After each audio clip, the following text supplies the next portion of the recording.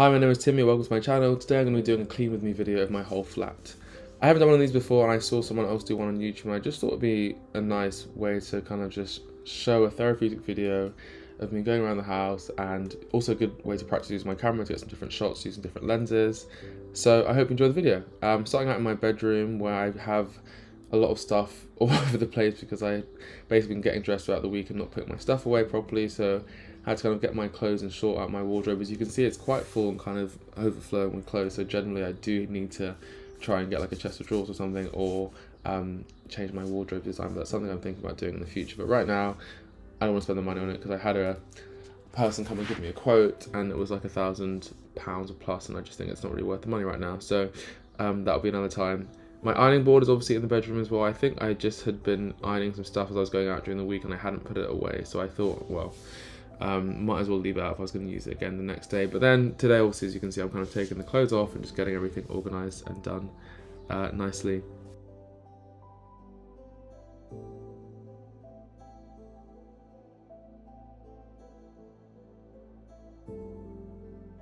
You can see my clothes basket is obviously overflowing with a large amount of clothes and that's something that I need to again deal with. I just have so many clothes. I think I'm someone that has obviously over the years amassed a large amount of clothing because I just like clothes and I like buying new things. And if I see something I like, I'll think about buying it and then buy it eventually. And so generally, I have this basket is always full, and then I have a basket in my storage cupboard which is also full. And then obviously I have the wardrobe full of clothes. And probably at this time, I think I also had clothes hanging up on a, drying rack, drying or clothes horse drying. So I do have a lot of clothes, and that kind of means that often my room is just full of clothes, not because I'm messy, but just because there isn't anywhere else for them to go, which is why I want to get a chest of drawers because I can then fold some stuff and put my trousers and shorts in like a certain level, then kind of spread some t-shirts out because right now there just isn't enough room for the clothes I have, and I've I have done this is like probably my third iteration of doing um, culls and throwing away clothes and kind of you know going through and selling stuff or throwing stuff away.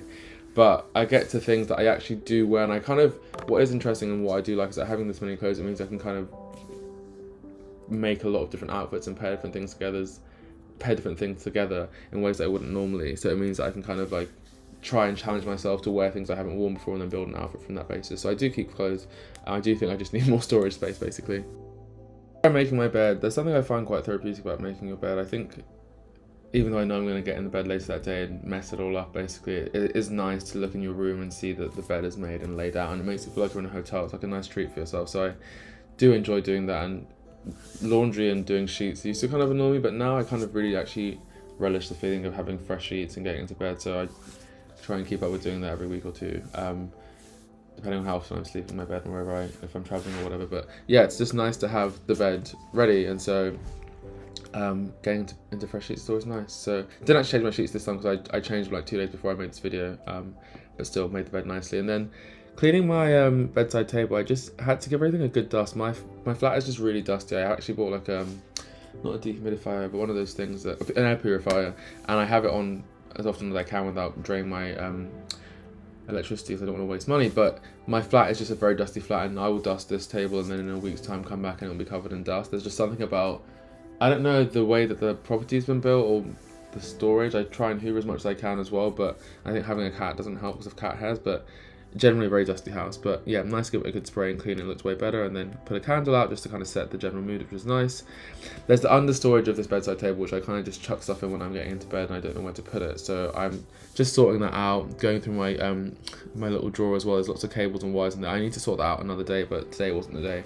I found some knitting actually which i i started knitting in November last year, and I haven't finished the scarf since then. So I need to try and do that this week. Actually, I forgot about that. It's one of those things that I was. I think I was on holiday with friends and we were driving a lot, so I was sitting in the car, and then I got back, and I don't really have much time generally in life to be still when I'm in the UK because I'm obviously like doing stuff and working and editing and filming and seeing friends, and so I don't have a lot of time where I'm sat still just doing nothing other than when I'm watching TV, which is like Netflix, and I watch that in bed. So I don't, I can't sit up and knit, which is bad, but trying to use the living room more and watch TV in the living room on my TV that I bought, so I want to get my money's worth.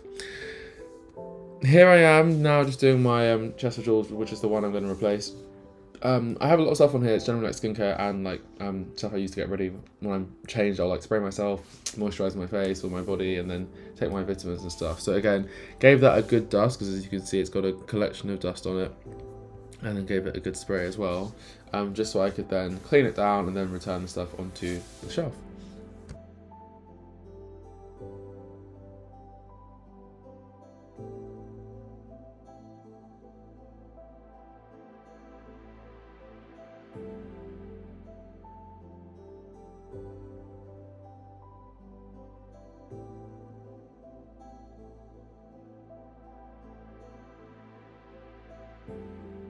And that was the shelf done, so I moved on to hoovering next. Um, so this Dyson Hoover is a Hoover that I got, and I got it as a housewarming gift for myself when I moved in because I just knew that I need a good Hoover because I have carpets and the flat is dusty, and I have a cat, so you know that Dyson Hoover just does the job, and it's lovely. It's it's lovely how much it cleans, but also shocking when you hoover and you think someone's clean, and you look in the cylinder and it's full of dust, and you hoovered a few days ago. So the Dyson's great.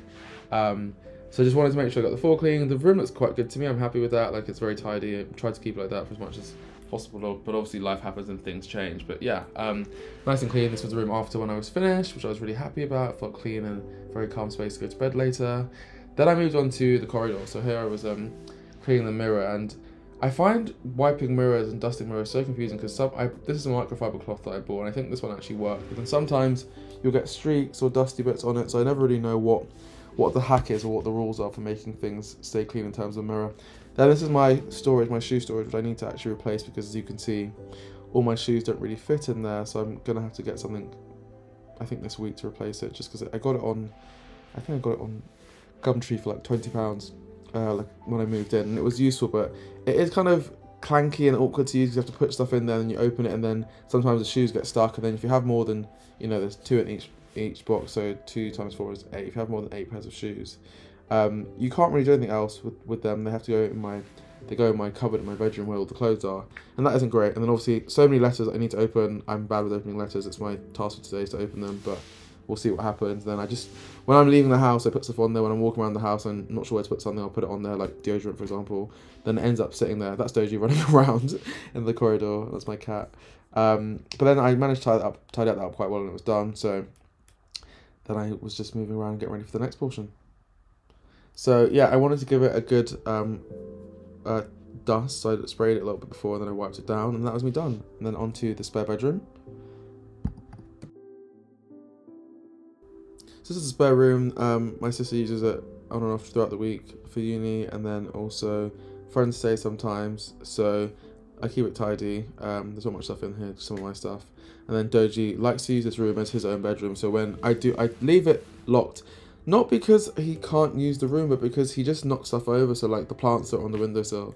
I'll come in sometimes and they've been knocked down because he likes to go on the windowsill and watch, you know, watch um, what's happening outside the window. So like birds and kids running around and cats in the, in the courtyard. So I keep it shut, but then sometimes I'll let him have a nap on there, or I'll let him sleep under the under the desk, which you'll see in a second. I think when I eventually have the plants set up where they need to be in the house, which probably won't be in here, then I can let him have more use of the room because he does love it. As soon as the door's open, he runs in there and he just sleeps there. So obviously, there's something about it for him. Um, the blue is the room is the blues room. The room is blue because I just um, I liked I wanted a blue room when I moved in here and painted the house. I wanted a blue room, so I went for blue because it's one of my favorite colors. And then the curtains in the room were fortunately already blue, so it actually just helped with the general theme. This is where my desk sits, so I um, share this and I kind of come and sit in here when I need to work, but I generally work in other places in the house just because I don't, I don't know, it's, just, it's a habit, I don't really sit in this space that often. And then as I said, my sister's here sometimes working, so, um, but yeah, so spray that down, again, keep it tidy. I have my laptop here because I was actually sat doing some editing um, before filming this video. Um, so yeah, it's a nice desk. Uh, it's a bit small. It's not. It's not very deep, but it does do the job. And then back to the old Dyson, giving it a good hoover, which was um, this room is actually doesn't get that dusty because I think it's shut most of the time. Dust is just dead human skin cells, right? So that's I guess what people say. So gave it a good hoover again, and just yeah, my coats are there hanging up as well. I use that as a coat rack when people come into the house, just keep it out of the way because I don't have room in the corridor. Um, and then that was done. That was room done, nice and tidy. And then onto the bathroom, which I find one of the hardest um, but most rewarding ones to clean because there's so many different parts to do. So you can see I've got some lots of stuff on the shelf. So I wanted to start by kind of spraying down the toothpaste marks and wiping stuff off and keeping it clean. So got underneath there, is a nice good deep clean. Um, so wiped that down, got it clean, got the um, tiles shining again because um, a bit of, they looked a bit dry, a bit limescaley. and then gave everything a good scrub that I needed to, so like the metal toothbrush holders, and then moved to the other side. So there's loads of stuff in there. Like I've got lots of products, so like stuff for my hair, my skin, um, my shaving stuff, my medication, my hair wax, my gels, um, wipes, just stuff like generally that you need to have in a bathroom. So there's a lot of stuff, and I don't have any like cabinet or storage space, which means obviously stuff is just out. So I try and keep it tidy. Um, that's some floss that just fell off. Um, because I don't like to have everything looking messy, messy in the bathroom, of course. It's just nice to keep things slightly organised as much as you can. So I try and stick and keep myself honest with that. So I gave that a good wipe down as well. Um, and again, it's just nice when you kind of spray the tiles down, you see all the kind of the dried bits of water or the lime scully stuff or toothpaste just kind of wipe away. So that was that.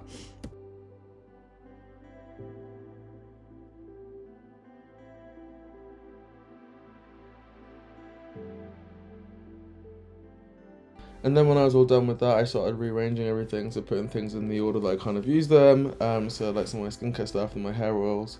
Um, and then I was basically done with that. So I think with a lot of stuff you can't have it perfect, but that's how I kind of arrange it. So in my head that feels kind of tidy and nicely kind of positioned. And there's some face masks that I need to actually use. I've been wanting to use those for weeks and weeks and weeks. I keep saying I'll do it on a Sunday. I just never get around to it, and I want to just take the time to sit down, do a face mask, and do a charcoal mask, and just cleanse my skin. Anyway, onto the mirror. So again, that's what I was saying about wiping. This one didn't clean as well. I had to really give it a give it some welly, put some elbow grease in there, but it was fine in the end. Then the sink. So giving that a real like a lot of a lot, a lot of um, cleaning spray, and then I use a sponge to scrub it. Unfortunately, the black little plunger in the center has started to peel, so like the um, black paint is coming off, and it's like got some metal showing through. So I'm not sure. This sink is actually one of my biggest regrets of this house when I changed the bathroom it's just so small, and so when you open the tap, water pours out and goes everywhere. Um, wiping the toilet seats. Of course, you want to clean the inside of the toilet, but you also have to clean the outside. So, you know, cleaning the the um, the lid, and then of course got to clean the inside of the toilet. So, a good spray, um, and then use some tissue paper. I don't like using the sponges I use for the rest of the bathroom because I think it's in my mind a bit cross contamination and then use a toilet brush, give everything a good scrub, spray some bleach, bleach in there as well, and then just clean behind the toilet as well because I want to make sure that everything is clean as much as possible. Um, and then gave it a flush, and we were kind of done with that really. Then to the bathtub. So the bathtub again is one that again because the flat is so dusty, it does generally collect dust throughout the day. So I do try and just rinse it down as much as I can when I use the bathroom. So this is me cleaning the bathtub and giving it a good scrub. I'll let you see that.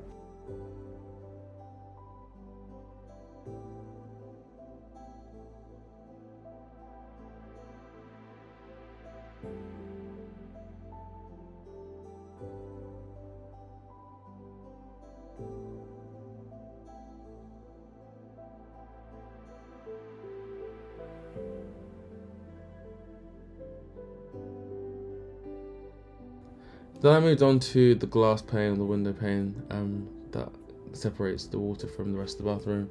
So yeah, again, this one you have to kind of keep clean because it's glass. So just gave it a good spray and then used the brush to kind of scrub it down.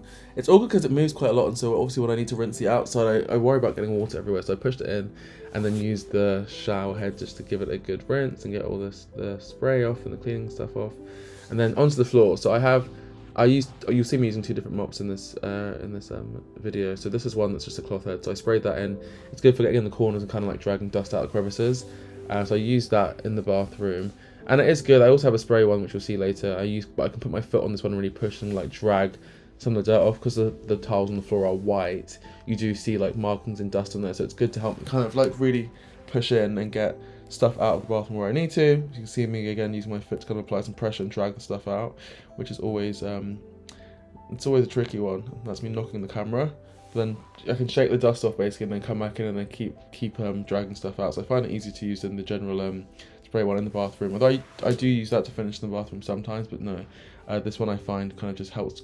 It just sticks onto the dust better on the white, where I can see things moving a bit more, and it's a bit thicker, so it's easier to like kind of absorb the water that the absorb the spray that's on the floor. This is the bathroom when I was done, all finished and clean and tidy. Feels nice. You can see the mirror's got some streaks on there, but yeah, nice and clean. Happy with that one. And then I moved on to the living room, which, as you can see, was in quite a state. This is more because I've been moving stuff out of the bedrooms and the other rooms um, as I was tidying, like some sprays and stuff. So started by just giving everything a quick arrange, and putting stuff where it should go or close to where it should go, so it's kind of in the right spot. And I would go back and then tidy those things up when I got to those sections. As I told you, I had clothes hanging because there's always clothes drying because I have so many clothes. To move that out of the way and then packed up some stuff like things I'd worn or things I'd used to film some videos I'd been filming in here the day before. So had to just tidy up these things and get everything folded away. Um, this is the thing I think it's what I find with tidying and just li- living generally is that you, it's better to just put the thing where it goes straight away at the time when you are dealing with it rather than leaving it to later because then it just means that the second time you put something down, the third time more and stuff, more and more stuff just piles up and becomes in the way, and then you just think, well, I'll just wait until I do a big clean and then clean it up. But then it means that you're constantly adding more and more stuff. So I'm trying to now when I come home, just like put my stuff in my wardrobe and like put my keys in the right place and just put stuff where it goes because it only takes two or three minutes then it means i don't have to spend like a long time like now i spent like 10 minutes putting stuff where it went so it's all habitual trying to change your habits and change your living styles obviously it's not the easiest thing to do on the planet but i'm trying to work on kind of getting towards doing that and just being more organized and setting myself up in better stead in the future by changing some of my habits and behaviors. Right so once i was done with tidying up everything i put my attention into my sofa. I love the sofa. I got it from Sofa Club, I think, uh, in the Lakeside Shopping Centre in Romford. You can order online as well. It was um, a good price. And so you see the little octopus that you just saw. That was my octopus I bought from H&M. I just thought it was cute. So I used a Dyson on, on the um, on the sofa because I've cat hair. So I used the animal attachment. I really just give it a good hoover on the full power setting, blast it off. And you can see it does actually really get in there and kind of get stuff off. And then I had this lovely um, Febreze freshener that I sprayed on to just kind of get everything. I tried to move dirty away. Then I sprayed the freshener onto the couch. I like the smell. It makes everything just feel cottony and fresh and clean and new. So that's really good.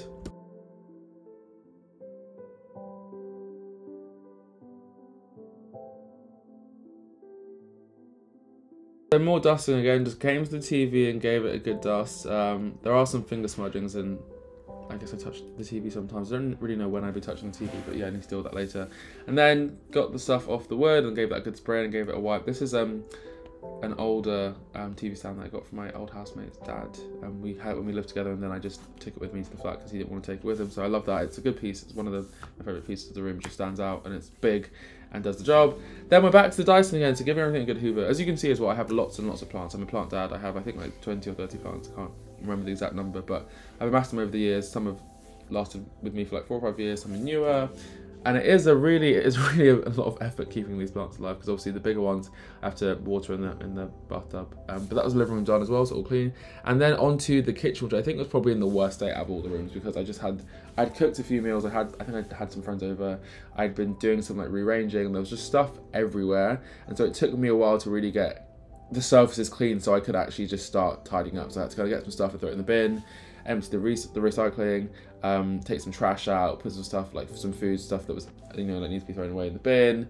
Um, so I just took my time starting with by like doing it in sections and putting things away, figuring out what these receipts were and if I actually needed them. I do have this habit of keeping receipts, so sometimes I'd be like, oh, well I need to return that well, I need the Morrison's receipt from food I bought. Probably not. I'll put it in the bin. So I started off with the left side. So again, just getting in the tiles, really getting the deep cleaning there, spraying and cleaning stuff, wiping surfaces down. The hob as well is one that I find food splatters and sprays, and before you know it, there's stuff on there that has stuck on and maybe burnt and cooked. So I tried to give it a good, really good wipe, um, just to get it all clean and shiny. Um, and yeah, by that point I was then done, which was good.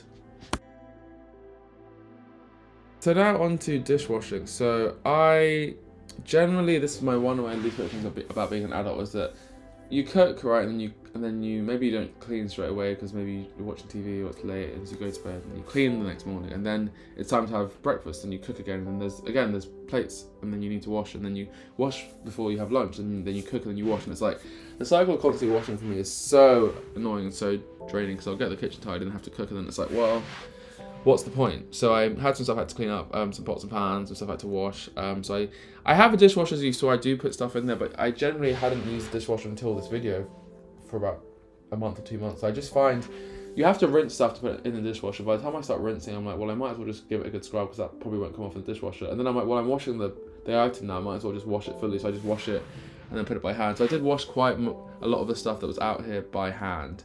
But some things I thought, well, I might as well use the dishwasher because I paid for it and it's just sat there. And it isn't, I think, drastically more expensive than washing by hand. So I just put some bigger things in there that I thought would do well with a nice long wash. Um, but stuff I could do by hand, I just did myself. And I find washing actually generally relatively therapeutic if I'm like listening to a good podcast or just standing around. I've had a long day. It's a good way to stand and think about things whilst doing something. So my back does hurt though because the sink's quite low and I'm always leaning, which is not the best. Um, here's more close-up shots. You see, I'm giving this pan a really good scrub. I think I'd made some chicken, so I soaked it in the um, in the plastic Tupperware, and then I was now just kind of dealing with that. And that's the thing with grease. You have to have a lot of hot water and you have to really get in there. So I think with the dishwasher, I just don't trust that it's going to get all the grease off properly. So I do like to kind of get my hand in there and actually like scrub the grease off the surfaces and make sure it's clean, especially again when it's chicken, making sure that things are kind of um, washed and scrub first. And I actually ended up putting that in the dishwasher, which I didn't remember. So yeah, use my hand first and then kind of let it have a long wash in the dishwasher to get it disinfected properly. Um, and then scrubbing down this chopping board, which I love. I got this from I think H&M Home. It just it's nice for serving food or like cheeses and stuff as well. So I have that out generally just to kind of use and give to friends.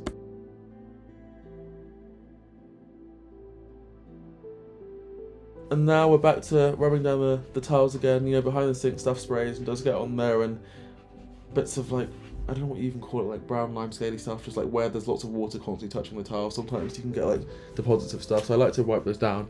Then again, just dusting over the sockets, making sure they're clean. Those are my cornrows, look at them, they were nicely done by a lovely lady. Um, yeah, so wiping all that stuff down, making sure I'm keeping it clean, and I wanted to make sure the whole kitchen was sparkling so that I could kind of look back and say, well, you know, it's good to do a deep clean. So when I do a deep clean, I do like to do things properly, so I'll take the time to go into all the different things that I really need to do just that it's like clean and I can do that once a month or once every two months. I do like a nice proper clean of the house and then it's like I can just maintain it at a certain level of cleanliness. There I am, smiling at the camera, moving on to now the the cupboard. So again, these are I love them, they're matte, they're grey, and my kitchen was a Wren's kitchen, but because they're matte, you do see fingerprints on them very easily and smudges, so I have to make sure I keep those clean. So generally I'll try and get down and just give them a good scrub uh, every every week or two because you, it's not nice, nice going in the kitchen and seeing oil prints all over your kitchen. That's the only what thing that I think can be tough. If it was like not matte, you probably wouldn't see it as much. So deal with that. And then I was done in the kitchen actually, um, with all the shelves and stuff. So I had a candle that I wanted to light just to make it smell nice again and kind of set the mood. So I had a candle that I set up there and it was beautiful, nice, simple and gentle smell. And that was the kitchen. Which you can see is obviously a lot tidier than it was before, and so now I came with a Dyson and then just got little crumbs and little things that fall off the counter when you're cooking it out of the corners. Um, nice, quick and easy because it's a hard floor. Then it's time to come with the second mop, which I own, which is the spray mop, which I love. Um, I don't think I had any liquid in there, so I actually just sprayed the floor first, and then just went in and dragged it. But normally I have liquid in there, so that kind of you can just spritz it and spray. I think I added some in the end later, but that just makes it easy, and it's a very good mop. It does do really well with hard floors like this. I think better than the bathroom sometimes. And then that was the kitchen done. I was really happy with that. I kind of had everything set up nicely. So that was the kitchen done. That was actually the whole house done. That's my deep clean fully done. So that's the deep clean video, guys. I hope you enjoyed watching. If you like this video and want to see more videos like this and also more videos where I talk about life, my general experience as an adult, be sure to like, subscribe and follow to see more. Thank you so much for watching and I'll see you on the next video. Bye!